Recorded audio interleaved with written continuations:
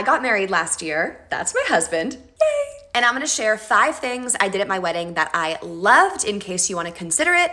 And I will end with the best thing that happened to us that was also unplanned.